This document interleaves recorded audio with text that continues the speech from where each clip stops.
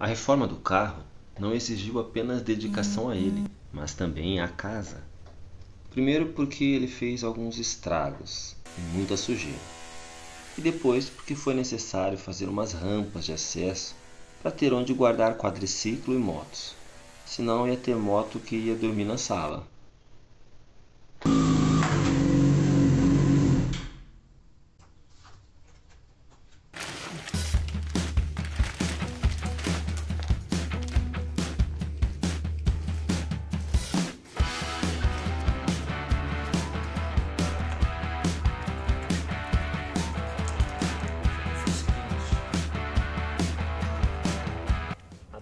Passou por cima e isso não aguentou. Isso aqui mostra a diferença entre o carro que eu tinha, que era uma Montana, e uma Ducato. Não é só o tamanho, é o peso, é outra coisa. O carro não vai ficar estacionado aqui, mas ele vai passar. Então precisa estar resistente.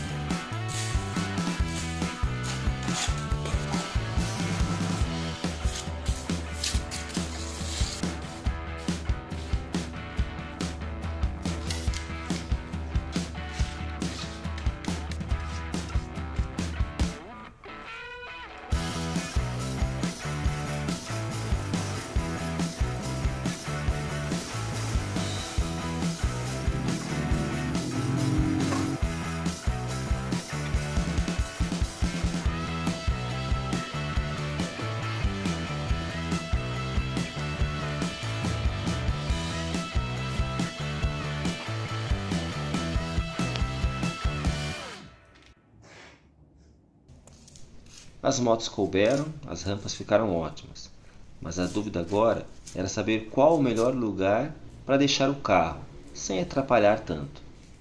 Afinal, a ideia era usá-lo só aos finais de semana.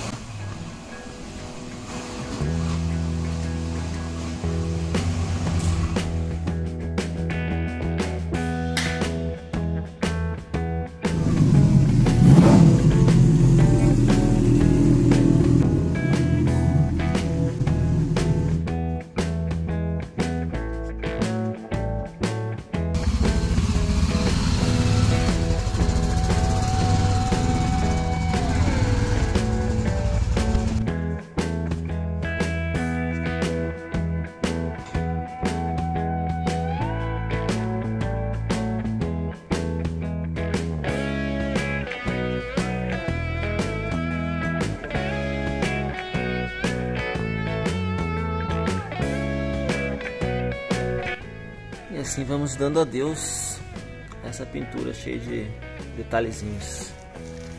Vai virar um verde só.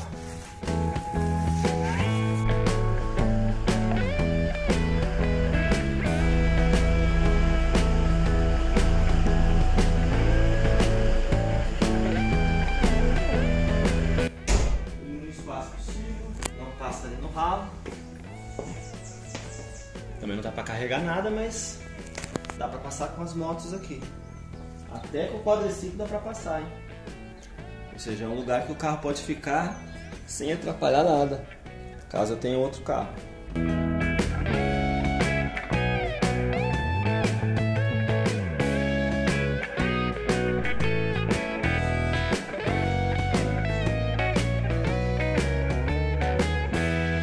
Nesta outra posição, permite passar com a moto aqui.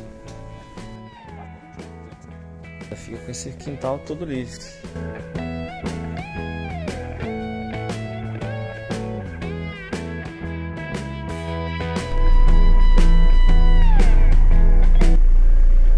Um pouquinho apertado para passar, mas dá para passar.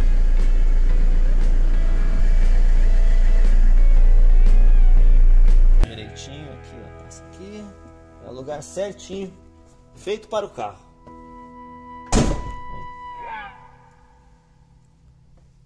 Espaço para lá, para cá outra garagem.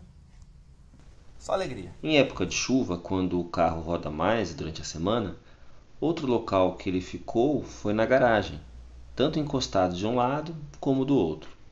Ambos permitem passar com moto e quadre pelas laterais. E é isso. O fato de ser de teto baixo permite várias opções. Umas exposto ao sol e à chuva e outras mais protegidas. Cabe até na frente da sala, mas dá um pouco de trabalho para manobrar. Afinal, é grande, né? Mas leva tudo que eu preciso.